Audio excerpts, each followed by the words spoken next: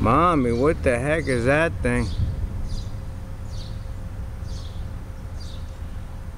I don't know. You better go ask your father. I have no idea what that thing is. It looked like some kind of antenna. It's big. Look how big it is. There, well, man, it's bigger than a two-story house. I don't know. I don't even know what it is. Gotta go ask your father.